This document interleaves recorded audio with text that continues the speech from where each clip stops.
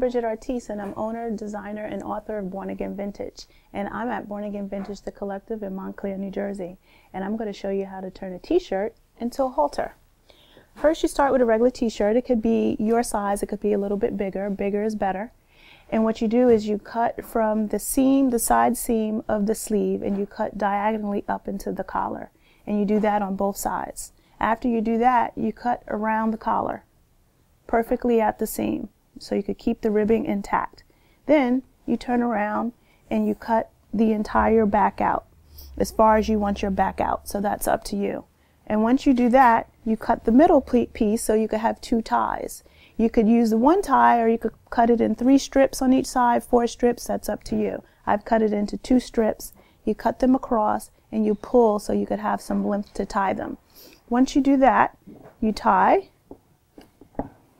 and voila, you have a perfect halter top.